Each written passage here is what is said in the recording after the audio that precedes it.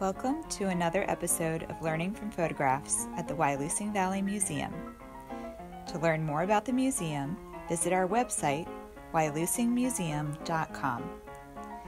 Today, we will be looking at a photograph of the bricking of Main Street.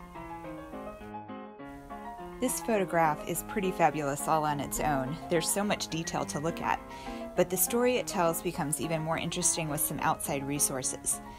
The information in this video comes from Borough Council minutes from 1908 and 1909, the 1907 Bradford County Directory, the 1911 Sanborn Insurance Map of Wyalusing, as well as being informed by other photographs in our collection. But let's start with what this photograph can tell us. Clearly, there is some road work going on in this photograph, and if we look at the materials that are piled up along the sides, you can see that the paving material is brick. There are enough architectural clues to tell us that the photographer is facing towards the river. Based on the perspective of the photo, he was probably standing on the second floor balcony of what was then Larkin's shoe store at the corner of Gaylord and Taylor. By zooming in on different parts of the photo, we can also see some signs for businesses along the street. There's a sign for the hotel, and just behind it, you can see a barber pole. There's a livery sign further down the street. The building at the end of the street has a barely legible sign that starts with Rocket. On the other side of the street are some signs for Smith and Waldo, and the shop on the corner says Refracting Optician in the window. That gives us some clues about what businesses were on Main Street when this photo was taken. But there are also questions that this photo on its own can't answer. For instance, when did this happen? By looking at the Borough Council minutes, we find out that the brick paving happened sometime in the spring or summer of 1909.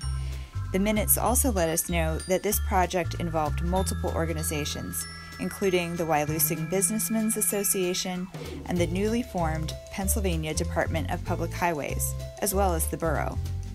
In 1908, when the issue of paving the road first comes up in the borough minutes, the Pennsylvania Department of Public Highways had only existed for five years. Their planning in 1908 included road improvements through the borough of Wyalusing.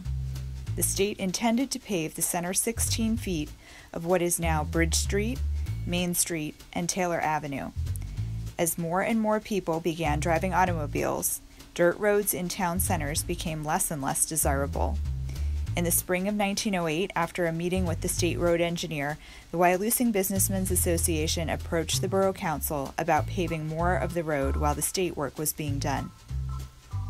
Instead of just the center 16 feet, they wanted the brick paving extended the full width of the street from gutter to gutter. The borough agreed to pay most of the cost of the extra paving, and property owners along the route also contributed to the added expense. In December of 1908, a contract was drawn up with Mr. E. W. Whalen, the state road contractor, to pave the full width of the street while he was doing the state funded work. The paving job was completed by August of 1909. Since a couple of the men in this photo are wearing overcoats, it was probably taken in the spring of 1909 while the work was in progress. If we take a closer look at the foreground of the photo, there are several men working in a trench.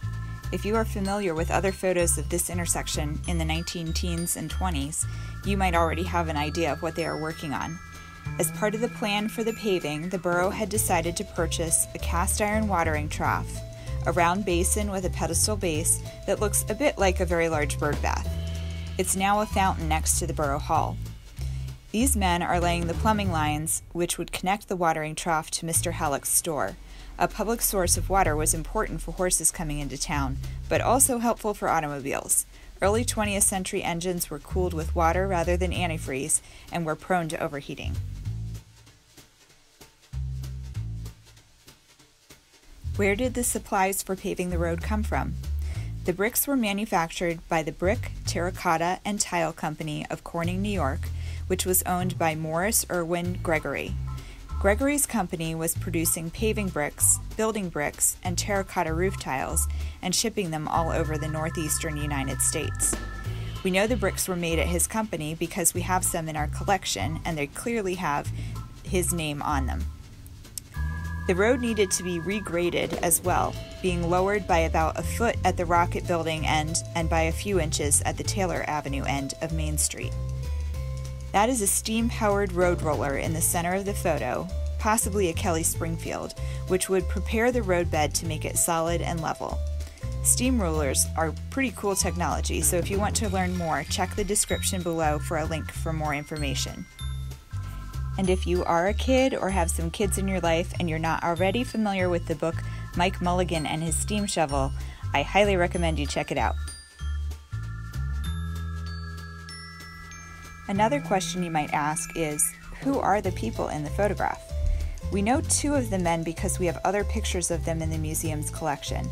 John G. Keeler was a local entrepreneur who had owned several different businesses, including a drugstore and a general store. He also served as Wyalusing postmaster in the 1880s. He and his brothers were co owners of the Rocket Printing Company. J. Morgan Brown owned the Wyalusing Hotel. Both men were Civil War veterans. If you recognize any of the other faces in this photo from your family photo albums, please let us know. We'd love to know more. We have some information from the signs visible in the photograph, but what businesses were on Main Street when this photo was taken? The Bradford County Directory from 1907 and the Sanborn Insurance Map of Wyalusing from 1911 give us a pretty good idea of what businesses were located in the buildings on Main Street when this photo was taken. The Wyalusing Hotel continues to be an architectural landmark in town. Just below the hotel sign, you can see part of a barber pole.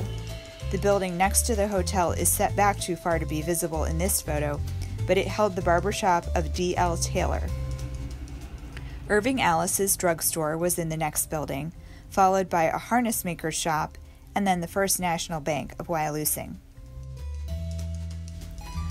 Although the sign is on Main Street, Lee and Snover's livery stable was actually behind the bank.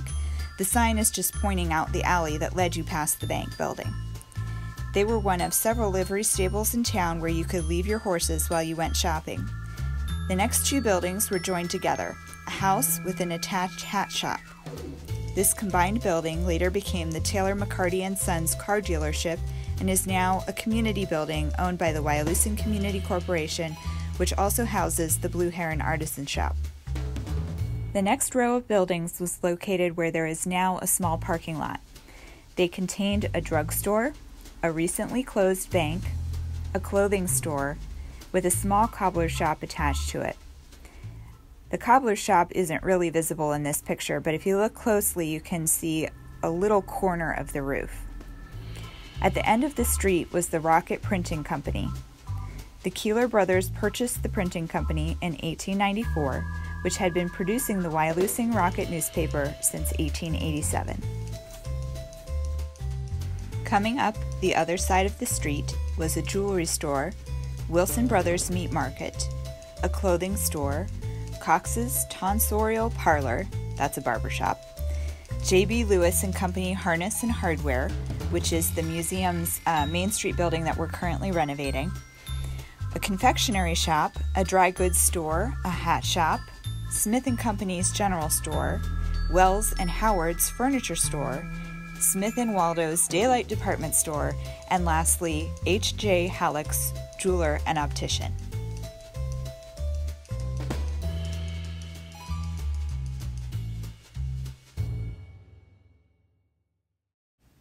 Thank you for joining us for a look at this fascinating photo of Wyalusing.